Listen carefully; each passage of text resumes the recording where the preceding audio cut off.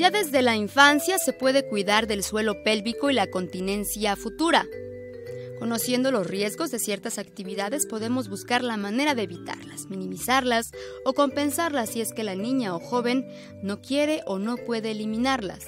Para compensar empezaremos por enseñarle a reconocer sus estructuras pélvicas internas y externas, a sentir y activar los músculos implicados y después a entrenarlos y a asociar su contracción a las prácticas potencialmente peligrosas para así protegerlos.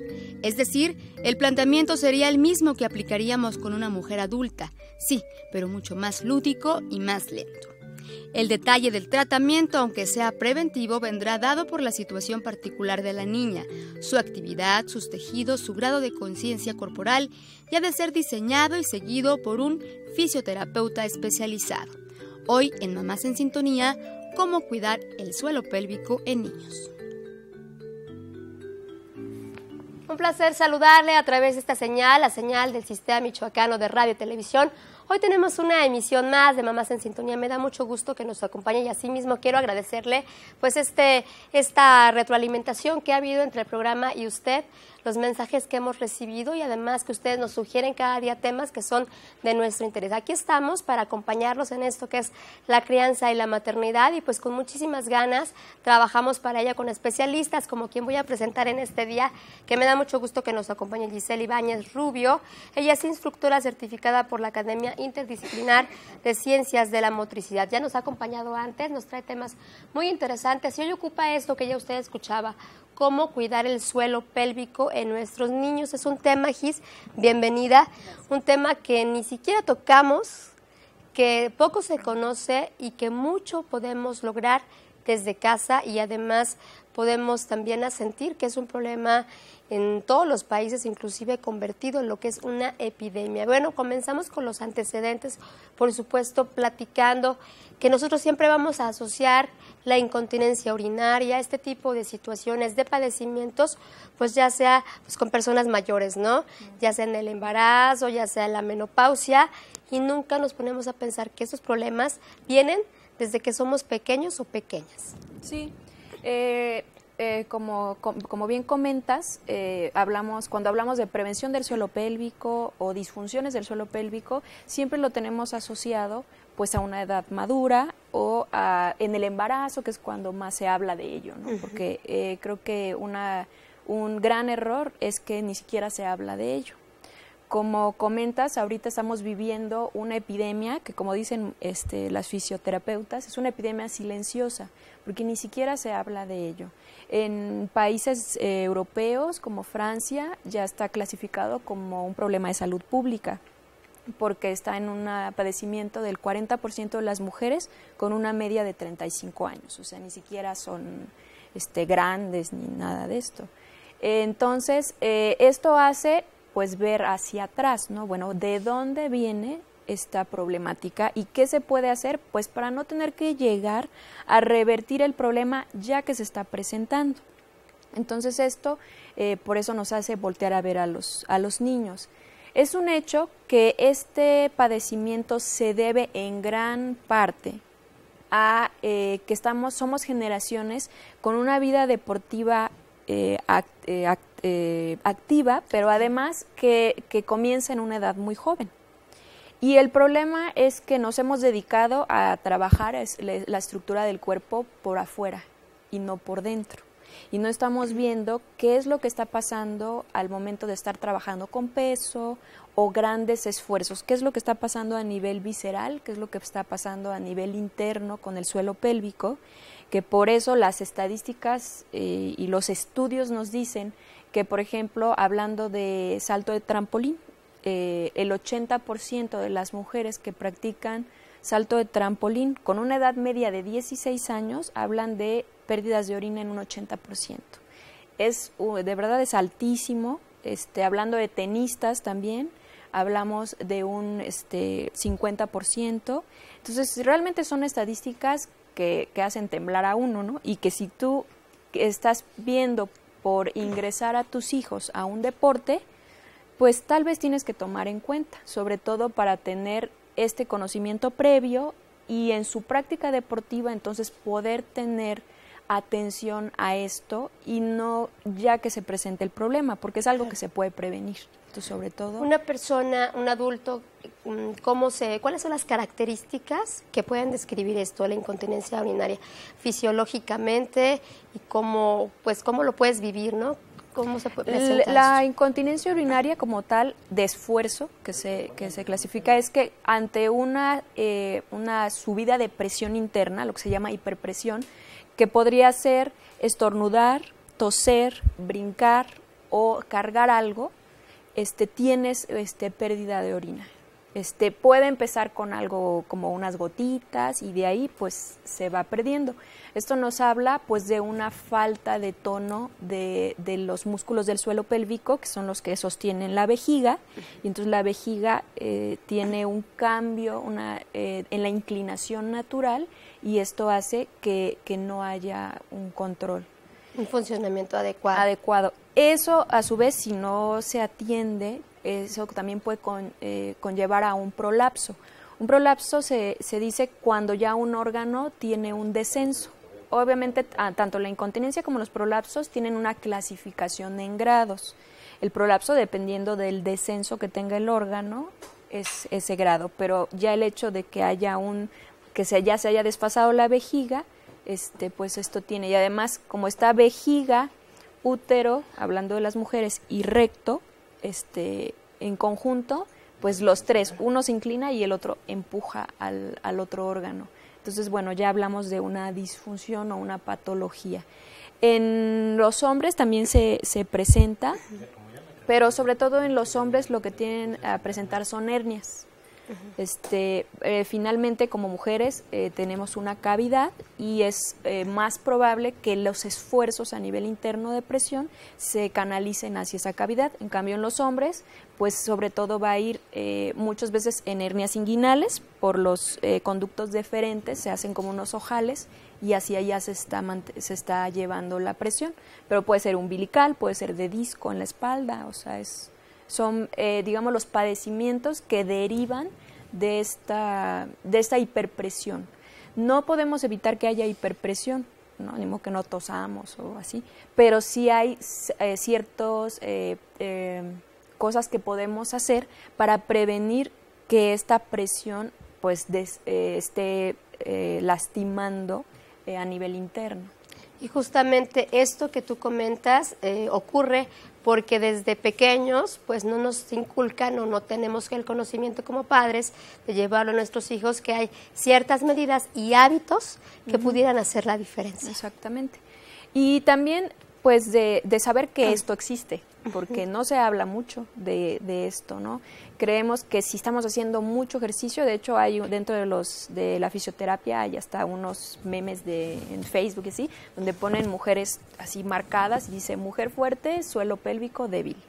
¿no? O sea, porque está completamente relacionado. Entonces, lo que tenemos que hacer es, ok, qué bueno que a nivel físico eh, externo está bien, pero también hay que cuidar interno. Entonces, hay que trabajar con, con eh, los músculos internos para prevenir este, una patología.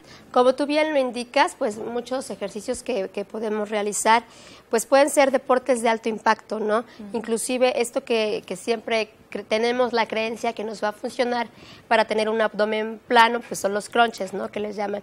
Y aquí, pues va un dato muy interesante, ¿no? Como dices tú, pues es difícil que lleguen a lograr esto por la forma de ejercicio, como ya lo hemos indicado con los hipopresivos. Y además, bueno, también mm, nos, nos lleva a esto, a caer en una incontinencia urinaria. Incontinencia. Sí, dentro de las, eh, ya hablando de las recomendaciones eh, para prevenir eh, problemas de suelo pélvico en los hijos, este, es muy importante conocer su estructura, ¿no? O sea, su estructura física, porque hay indicativos, eh, por ejemplo, la hiperlaxitud, si, si nuestro hijo vemos que se para y las rodillas se van más allá de los 180 grados e igual el codo lo puede extender más allá de los 180 que se hace como una curvita para arriba, entonces habla de que tiene su fisonomía es hiperlaxa. Y así como las piernas y los brazos son más elásticos, Igualmente los ligamentos internos son más elásticos. Entonces una persona que es hiperlaxa tiene más probabilidad de que el suelo pélvico se caiga más pronto. Entonces, eso quiere decir que si mi hijo tiene esta, esta fisonomía, pues debo evitar, de preferencia, recomendar un, eh, un deporte que sea de alto riesgo para, para el suelo pélvico, como trampolín, alto impacto, o sea, bueno, todo lo que, lo que es de alto impacto. Los que tienen menos impacto, pues es la natación, el ciclismo y el golf. Muy bien, pues bueno, estas recomendaciones y mucho más tendremos después de esta pausa. Le invitamos a que nos siga a través de nuestras redes sociales y también llámenos al 323 60 16 y 323 56 26. Regresamos.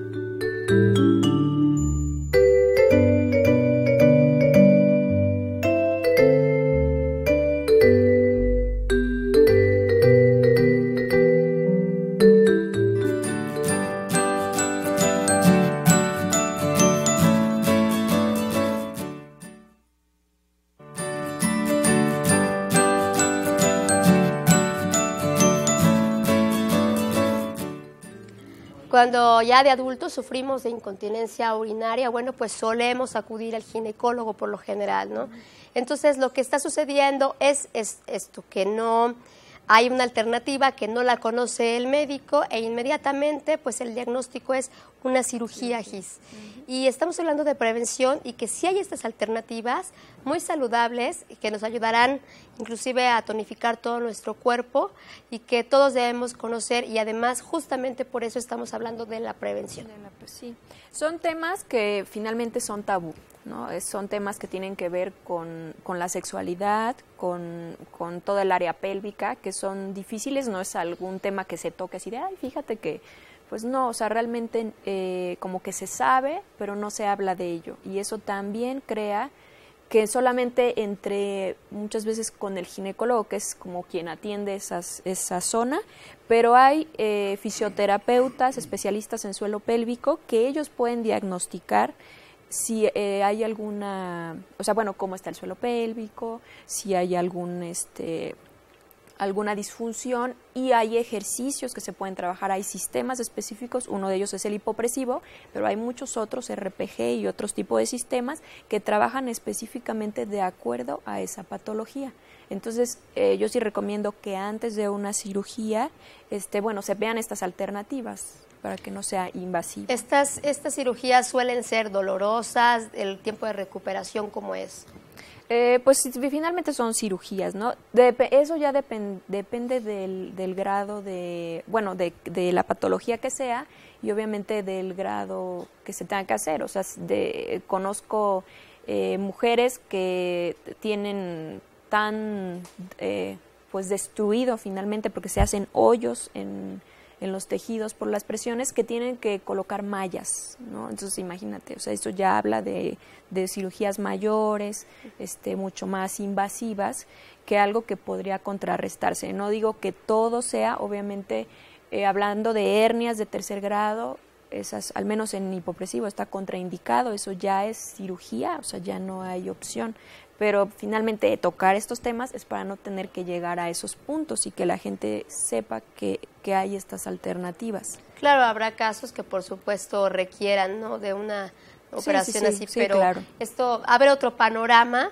de información y, estar preparados porque podemos acudir a, a, realizar alguna de estas, estas terapias. Claro. pues nos podemos recuperar de inmediato. Y sobre todo, pues es acudir a un especialista, ¿no? O sea, no se trata de que estas finalmente son recomendaciones y esto no equivale a, este ni a un diagnóstico ni nada. Sí hay que acudir a especialistas sanitarios eh, de, de, las, del área, ¿no? de, de lo que estamos eh, trabajando y entonces en base a eso, a un estudio, a un, este, un diagnóstico, test, evaluaciones, pues entonces eh, se puede ya hablar en específico de, de, un, de un tratamiento.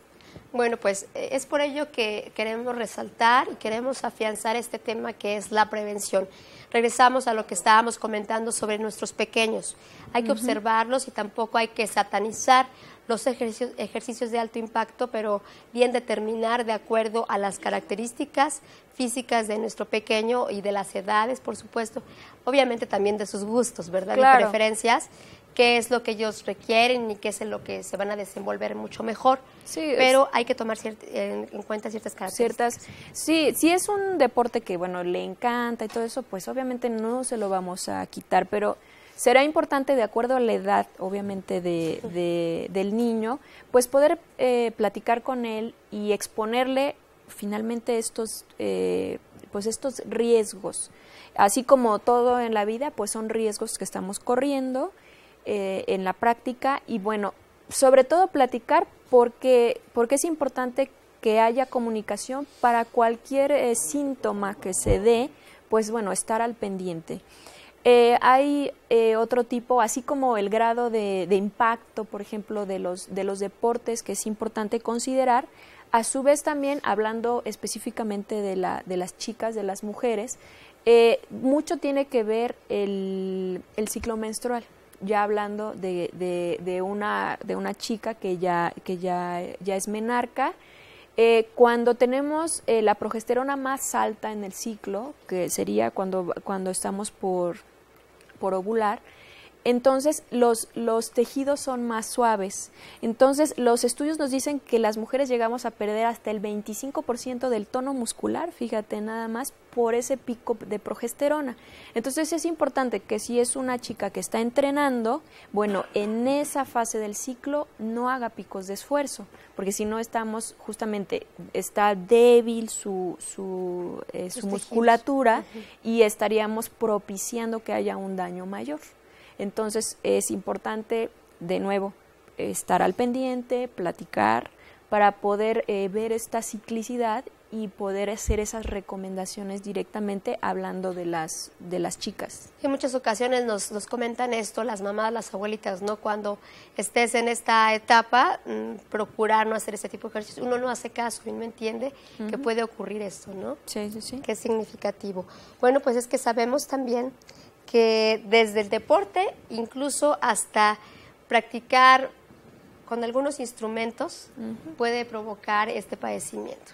Eh, el hecho de eh, tocar instrumentos de viento, al igual que practicar canto, nos hace el mismo, eh, la misma dinámica de presiones interna. Hay que recordar que, que nosotros hablamos de esta cavidad abdominoperineal, donde en la parte de arriba se encuentra el, diafragma, en la parte de abajo suelo pélvico, al frente lo que son los abdominales y por la parte de atrás pues la musculatura de la, de la espalda.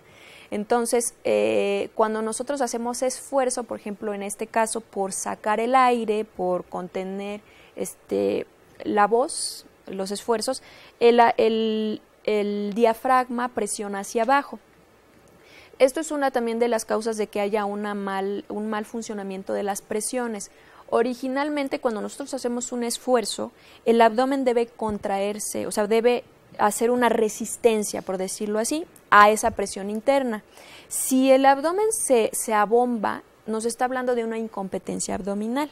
Entonces, esta presión pues está empujando el abdomen y a su vez está empujando todo por adentro. Digamos que el abdomen es lo que vemos por afuera, pero eso mismo está pasando a nivel interno, empuja pues las, eh, el suelo pélvico, la vejiga y todo esto, ¿no? Entonces, eh, eh, tenemos que aprender, o sea, una de las recomendaciones que vamos a hacer más, más adelante es la respiración. Es importante que nuestro diafragma esté elástico. Si el diafragma es elástico, este va a poder subir y bajar en la respiración sin generar una presión hacia abajo. Eh, a nosotros se nos presenta cuando hay personas que tienen el diafragma hipertónico, demasiado tenso, este, que muchas veces padecen de colitis, de inflamación para la tarde, ¿no? Y eso está pasando porque el diafragma está tan tenso que no sube en la respiración y entonces está creando una presión hacia el área del intestino y eso tiene que ver también con ese malestar para la tarde. Entonces, eh, personas que usan mucho su diafragma, como músicos y cantantes, tienden a tener eh, eh, muy tonificado el diafragma y es importante que trabajen con, alternativas para poder hacerlo elástico. En el caso de los niños, pues es prevenir por medio de estar al pendiente de esas presiones y de mantener esa respiración eh, diafragmática que le va a permitir que, el diafragma siga elástico. Eh, eh, igual ya me fui a una recomendación antes de tiempo, pero finalmente este, este diafragma elástico, esta respiración de hecho la tenemos automática hasta los seis años, es natural y el chiste es mantenerla. Y es mantenerla. Pues ya nos darás algunos consejos cómo mantenerla y mucho más que sabremos sobre este tema. Regresamos con más a Mamás en Sintonía. Queremos agradecer a quienes nos escuchan a través de la radio 1550 de AM. Un saludo para todos ustedes. Regresamos.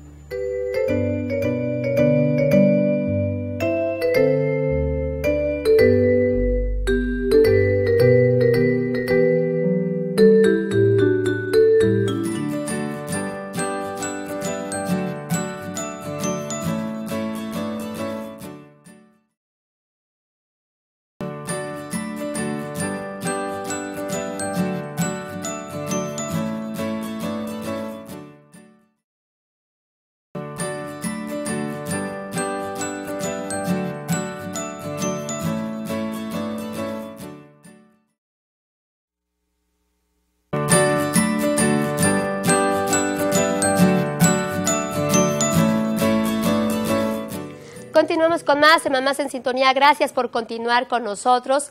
Y sí, estamos hablando de esto del cuidado del suelo pélvico y además algunas recomendaciones que nos servirán y también pues enfatizando, por supuesto, la prevención. Nosotros solemos acudir pues al odontopediatra, el pediatra por supuesto, al neonatólogo cuando nace nuestro pequeño, al ortopedista. Hacemos muchas cosas que van pues en pro de, que nuestro niño esté de lo mejor. Pero nunca nos ponemos a pensar en esta área que tú nos comentas. Entonces, también es importante hablar de alimentación. Hemos platicado la importancia que desde pequeños nuestros hijos se alimenten bien y además inclusive tener hábitos alimenticios obviamente y de consumo de agua. También esto tiene esto va directamente al cuidado de nuestro suelo pélvico. es importante eh, como hablando pues de nuestro de nuestros chiquitos pues no ellos no van a fácilmente a poder transmitir ah pues fíjate que este tengo muchas ganas de hacer pipí muy seguido o sea pues no ellos no tienen relación. Entonces es importante que nosotros como padres estemos al pendiente de esta de, de las visitas al, al sanitario. Es importante que tiene que estar relacionado con su consumo de agua entonces, aproximadamente si, si tomaron cuatro vasos de agua, tienen que ir eh, relacionado con de cuatro a cinco visitas al baño.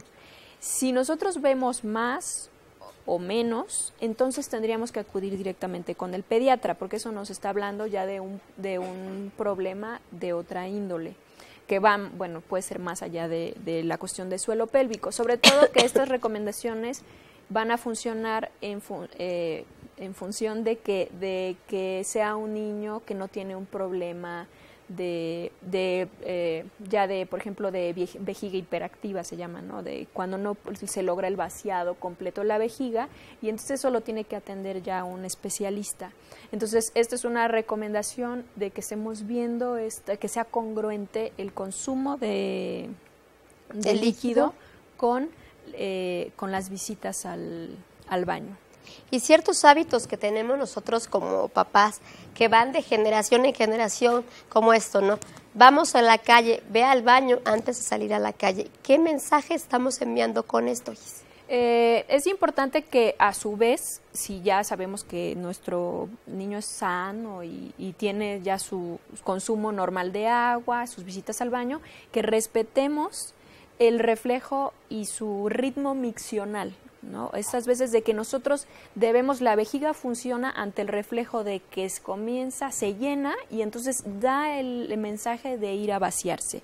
Si nosotros constantemente estamos diciéndole, vamos a salir, ve al baño, antes de que, de que esta vejiga esté llena, nosotros estamos empezando a darle el mensaje a la vejiga de que se vacíe antes de tiempo. Entonces eso, eh, si lo hiciéramos una o dos veces, bueno, no está mal. El problema es que se convierte en un hábito y ese hábito pues ya se, se le da eh, ese mensaje. O sea, no estamos dejando que la vejiga funcione con la, con la naturaleza que debe funcionar, ¿no? Se comienza a llegar, o sea, comienza a llenarse y se despierta ese reflejo, ¿no? De ir al baño, entonces hay que ir. Entonces, si nosotros no respetamos ese reflejo, pues lo inhibimos, o sea, como todo. Hay que respetar los tiempos. Hay que respetar, por eso es más bien hay que estar al pendiente de esto, de qué tanta agua tomó para, para que es el momento de ir al baño y no estar forzando la vejiga. Es importante también que al momento en que, nos, que, se va a orinar, no hacer que pujen, porque eh, estamos haciendo cada vez que pujamos, estamos presionando el suelo pélvico hacia abajo. Entonces esto en acumulado, este, volvemos a lo mismo. Son, o sea, ahora sí que le vamos sumando, ¿no? Le vamos sumando deporte, más instrumento, más este el reflejo, o sea, y esto pues por eso estamos viendo que a los 16 años, 20 años están comenzando con incontinencia urinaria. Entonces, pues son hábitos que hay que, que hay que ver, que si tomar en cuenta que si vamos a salir, eh, considerar que haya un baño disponible y todo esto, pues para poder respetar esta o, o hacer lo menos posible la recomendación de ve al baño antes de salir. Y también esto va muy relacionado con el control de esfínteres, ¿no? Que está entre el año ocho meses, dos años y medio. Entonces, desde ahí, ¿cómo podríamos trabajar esto, Gis? Porque son etapas en que el niño está comenzando justamente a esto, a recibir ese mensaje de cuándo y dónde. De cuándo, sí. Sobre todo es eso, respetarlo. Así como justamente cuando uno está en el entrenamiento de control de esfínteres, sabes que tienes que tener baños disponibles y corres, ¿no? Este, para poder respetar justamente este entrenamiento.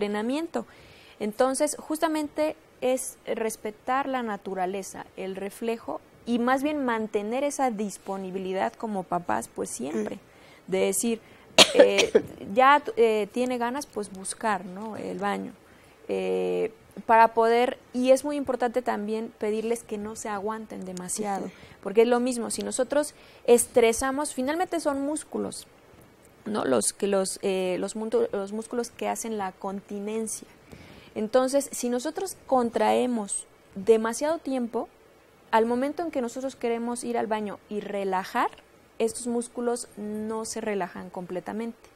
Y entonces eh, pasa de que haces pipí y ya te vas y al ratito otra vez, que hablamos de este síndrome de vejiga hiperactiva este, donde, porque no tiene un vaciado completo debido a la, al exceso de tensión de los músculos. Y esto de nuevo, así como le podemos dar el mensaje a la vejiga de que no, de que se esté vaciando antes de tiempo, mm. igualmente la estamos forzando a que se llene de más, lo contenga demasiado ese músculo, se estrese y este y después ya no pueda relajarse como cualquier músculo pues se hace se se, se hipertonifica entonces está muy tenso y ya no podemos relajarlo y, y tiene eh, otro tipo de consecuencia. Entonces ahora sí que ni muy, muy, ni tan, tan. Y es que es muy común esto que cuando comienza el control de esfínteres, por un lado es la curiosidad del pequeño que ahora que sabe que quiere ir al baño, que tiene que ir al baño en ciertos lugares, siempre que llega a un lugar quiere conocerlo, ¿no? Entonces debemos de tener esta paciencia y otra cosa muy importante, las mamás o los papás también tienen ciertas dudas sobre si lo llevo a ese baño es que está sucio, entonces aguántate, ¿no? Y también el niño se va creando esa idea y entonces siempre está inhibiendo. Sí, y eso trae eh, una serie de problemas, ¿no? O sea, que se crean Finalmente esta información se la estamos dando a nuestro cuerpo y entonces el cuerpo se, se acostumbra a eso. Entonces ahí pues hay que tomar otro tipo de, de este pues de recomendaciones, de cosas como pues tal vez cargar de estos papelitos que se ponen en, en el sanitario, este, desinfectantes, o sea, bueno, ya algún otro tipo de alternativas para, para poder estar respetando estos ciclos y no aguantarse, ¿no? O sea, porque es, este, esto eh, hace mal. Ocasiona otras cuestiones. Porque también una recomendación es traer un bañito en el carro, y pues. córrele al carro, ¿no? Es otra que podría ser. Pero enfatizar esto, hay que respetar sus etapas, respetar sus tiempos y también observar, ir conociendo a nuestros hijos desde esto, está tomando agua, no está tomando agua, porque cuando aún tiene el pañal, cuántos pañales moja al día.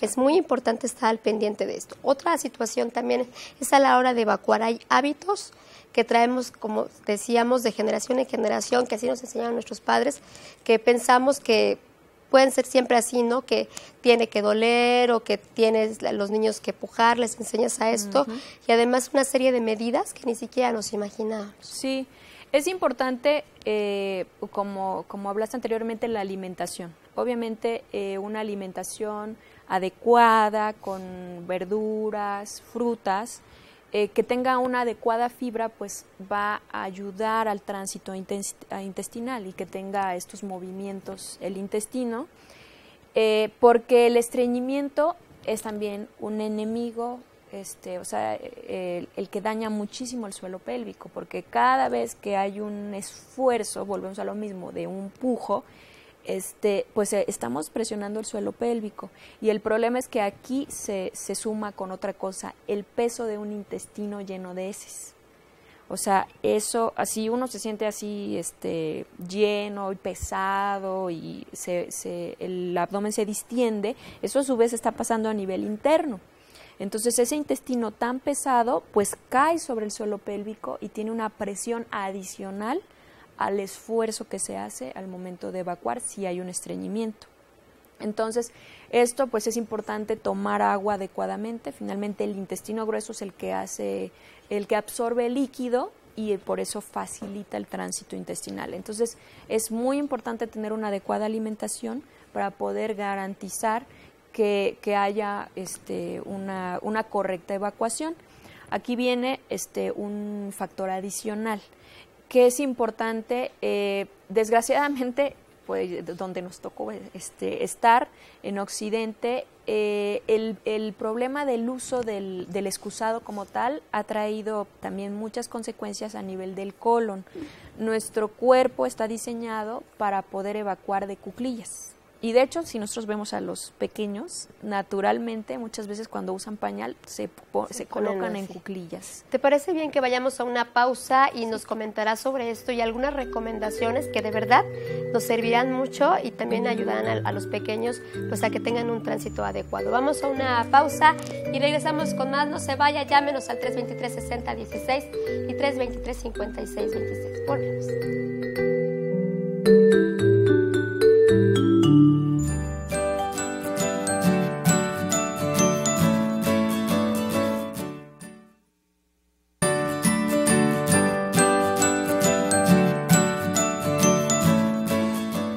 26. Volvemos. con más en este programa. Estamos hablando de la prevención pues, para algunos padecimientos que suelen presentarse en el suelo pélvico y algunos consejos que nos trae Gis Ibáñez. Bueno, platicábamos, Gis, de estas posturas, inclusive para los niños cuando comienzan a controlar esfínteres y también a saber lo que es, este, pues, cómo va este proceso para evacuar de manera adecuada y no lastimarse.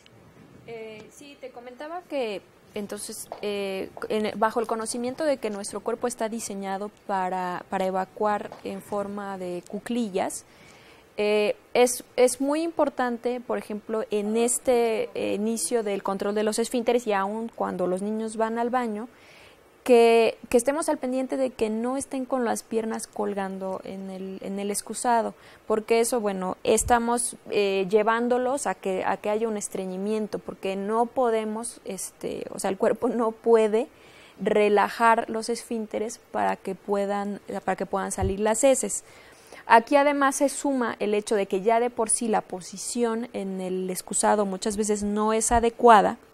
Cuando nosotros estamos sentados, este, el, el músculo puborectal que está diseñado para contener, o sea, para hacer la continencia en el intestino, está contraído. Digamos que esta es la salida del intestino grueso y entonces está haciendo esto. Entonces, al momento en que nosotros estamos en esta posición, hay una, está tenso ese músculo porque está, está diseñado para hacer eso, para la continencia. Cuando el, el recto comienza a llenarse de heces, entonces este músculo eh, eh, tiene que relajarse para dejar este, salir las heces. El problema es que nosotros estamos sentados y estamos eh, teniendo esta orden de tensión. Entonces, por mucho que, que queramos ponernos, pues no sale con, con o sea, estamos educados para hacer esfuerzo, Y eso no debe de suceder. Si nosotros pujamos para ir al baño, está, está trabajando mal nuestro, nuestro intestino, o sea, nuestro, eh, eh, la salida de heces. No debe de haber esfuerzo porque esa, ese esfuerzo de nuevo está, está dañando el suelo pélvico. Entonces, lo mejor es cuando están chiquitos, pues la, de hecho las nicas, por ejemplo, justamente tienen esa posición, ¿no? Donde están las rodillas más arriba, buscando eh, que estén más o menos a unos 90 grados, sí, como, hacia arriba. como 120 grados este, hacia arriba, de manera que este, les enseñemos a que se vayan hacia adelante, con la espalda recta. Obviamente, si nosotros estamos hacia atrás, con el coxis metido, o sea, vuelve a pasar lo mismo, estamos contrayendo y aún más. Entonces, deben estar este, derechitos, con sus rodillas más hacia arriba, si es en la nica, y entonces en esta posición. Y entonces ahí estamos eh, garantizando que el músculo se relaja y debe, eh, las, heces deben salir sin esfuerzo. Entonces es importante que muchas veces cuando estamos empezando el control de esfínteres, así lo sentamos y puja. ¿no? O sea, y luego ni ganas tener, puja. No, no debemos enseñar a pujar, porque eso ya estamos desvirtuando otra vez el funcionamiento. El intestino se debe vaciar solo, no debe de haber este eh, no debe haber esfuerzo para, por eso también esto va acompañado por supuesto de lo que ya bien decíamos la alimentación no es muy muy importante que conozcamos qué le puede ayudar a nuestro pequeño pues a tener un mejor trabajo intestinal porque incluso decimos es que él come mucha fruta, pero no sabemos qué fruta que incluso le está estreñiendo. Hay que saber el valor nutricional de lo que están comiendo y además lo que les puede ayudar en esta cuestión. Sí, garantizar este, que sea fibra y, por ejemplo, también probióticos que, que eh, ayudan a este movimiento del intestino y bueno, los líquidos también, porque por mucho que le demos ciruela pasa y todo eso, si no se está hidratando de manera adecuada, el, el, intestino grueso no puede, no puede hacer el tránsito, ¿no? Se atora y entonces va haciendo cada vez más duro, más duro. Y bueno, eh, eh, tratar, o sea, necesitamos encontrar esta, este equilibrio de, del intestino en, en, los pequeñños, pues para que no tengan que caer en, en tener que, que, pujar, ¿no? Que se hace un, no debe doler y no, se, no, debe, no debe de requerir un esfuerzo. Un esfuerzo. Ya para los más grandecitos que ya asisten al, al excusado de casa, es importante tener un banco para que puedan apoyar sus piernas este, al, al estar en, en, el, en, el, sanitario, que igualmente aún para nosotros este, adultos eh, resulta muy conveniente también, justamente buscando esta posición de eh, similar a las cuclillas, este, estar derechos y pues lo único, el único este, esfuerzo, que como tal no es esfuerzo, sino más bien es eh, al momento de estar, de, estar evacuando, pues contraer, como el, llevar el ombligo un poco hacia adentro con una respiración pausada. Otra cosa muy importante, no se debe contener la respiración. ¿sí? O sea, la respiración debe fluir al momento en que se esté evacuando. Nada de pujar y eso nos hace contener la respiración, ni contener la respiración porque ahí estamos haciendo lo contrario, estamos apretando, no estamos relajando. Entonces es importante este, colocarnos con la espalda como más inclinada hacia adelante, este, las manos sobre las, sobre las piernas, de preferencia los, las piernas eh, un poco arriba en un banquito. Los niños al menos deben tener a 90 grados sus piernas en un banquito y entonces eh, empezar el proceso y respirar como, como si sopláramos un popote, que es una respiración como larguita y suavecita y al mismo tiempo ir sintiendo como eh, solamente vamos a traer el ombligo hacia adentro, ¿sí? Es más del abdomen que de un empujar hacia abajo. Y eso nos va a ayudar a garantizar que sea una, eh, una evacuación sin forzar, es muy importante relajar los esfínteres, o sea, que realmente podamos relajar el suelo pélvico, porque también si, hay, hay, lo contrario, ¿no? Hay el, hipertono del suelo pélvico, o sea, que está demasiado eh, apretado, por decirlo así, demasiado contraído, que no permite también que se relaje y trae otro tipo de, de problemas. Entonces es importante que también aprendamos a relajar este, los esfínteres tanto para ir a hacer pipí, o sea, que se, se salga todo sin esfuerzo, igualmente al evacuar, que, que, se, que todas las heces puedan fluir sin que haya esfuerzo ni nada. Y es que todos estos mensajes que le enviamos a nuestro cuerpo se convierten en hábitos Exacto. y los podemos tener toda la vida y ni siquiera sabemos a dónde y en qué nos pueden dañar.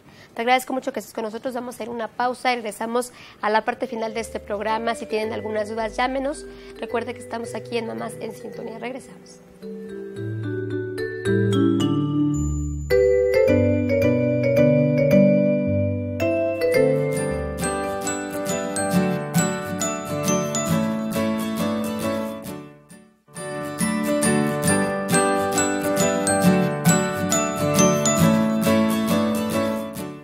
Regresamos a la parte final de este programa. Le agradecemos mucho que esté en contacto con nuestro, nuestra emisión del día de hoy, que nos acompaña Gis Ibáñez. Estamos hablando del cuidado del suelo pélvico y también de la prevención, importante para la etapa pues temprana y también importante para saber nosotros ya de adultos qué errores estamos cometiendo y que también hay algunas alternativas que nos pueden ayudar más allá de una cirugía. Estábamos platicando justamente de las posturas, ¿no? Qué importante es estar al tanto de nuestros hijos y desde que van creciendo, pues corregirlas y también pues estar muy pendientes.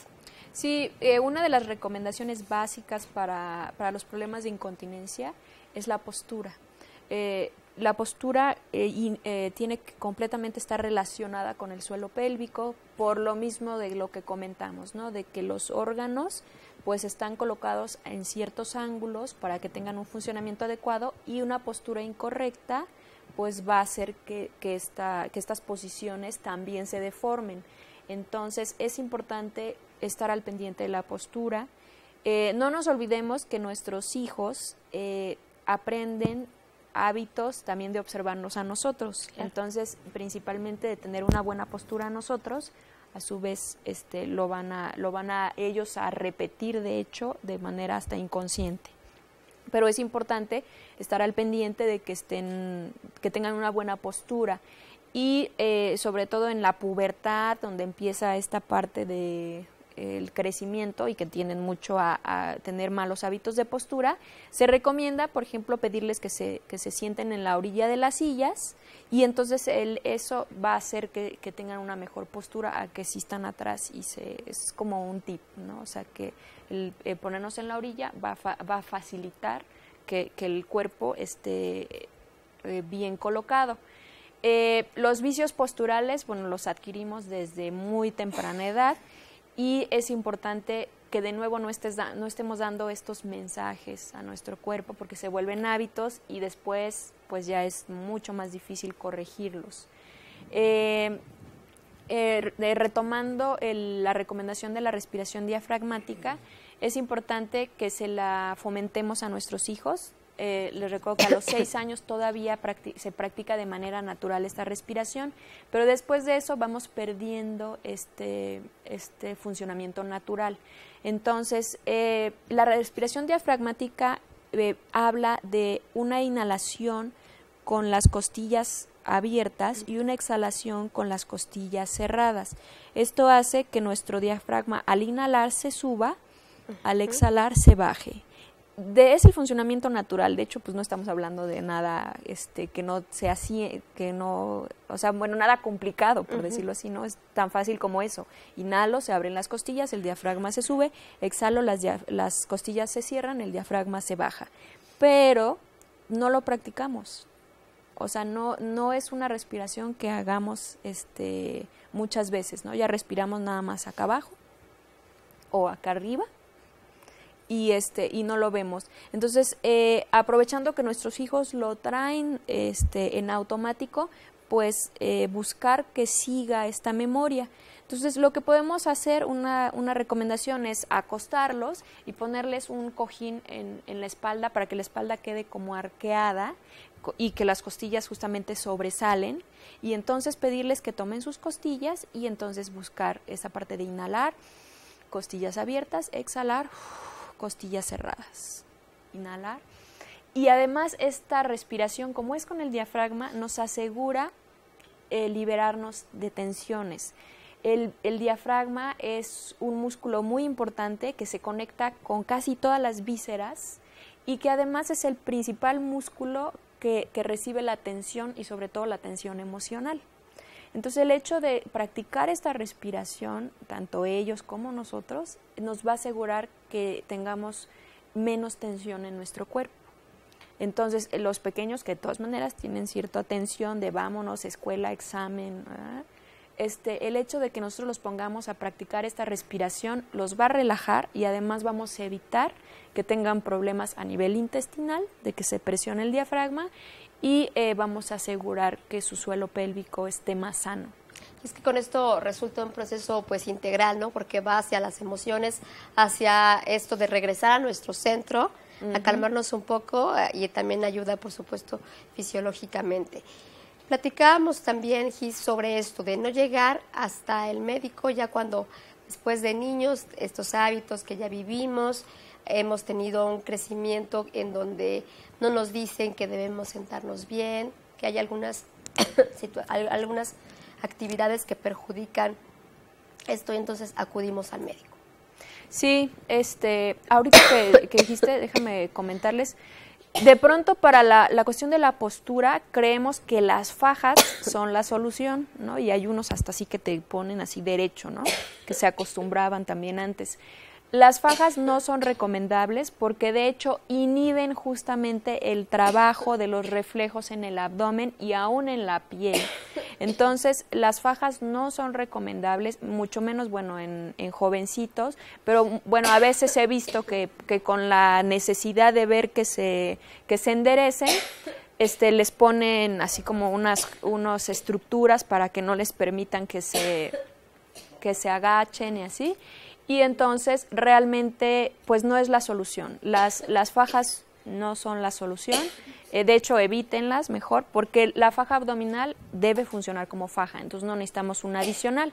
Si tenemos una adicional, eh, le estamos quitando eh, este funcionamiento a nuestro abdomen, entonces no debemos de, de utilizarlas. otra cosa importante que, estamos, que debemos estar al pendiente es de enfermedades crónicas, eh, ya de una tos, una gripa, así que tenga muchos estornudos, porque cada estornudo y cada tos pues, está presionando el suelo pélvico. Entonces, una persona que tiene tos crónica, bueno, pues estamos, este...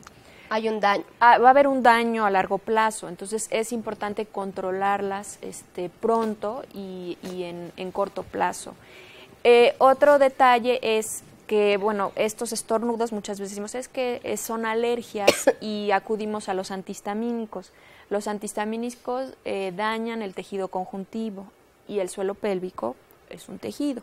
Entonces, aguas, o sea, no digo que no se usen esporádicamente, pero no como algo habitual porque estamos eh, haciendo un daño a ese tejido también. Entonces, este, pues es de conocerlo y en dado caso ver otras alternativas. Me gustaría que, justamente concluyéramos con esto, otras alternativas que hay muy viables, que de verdad nos ayudarían a tener pues calidad de vida, en, pues, porque hay mujeres incluso que viven con esto de la incontinencia urinaria y de verdad que la pasan muy mal. Esto del método hipopresivo me gustaría que cerráramos para que eh, nos compartas.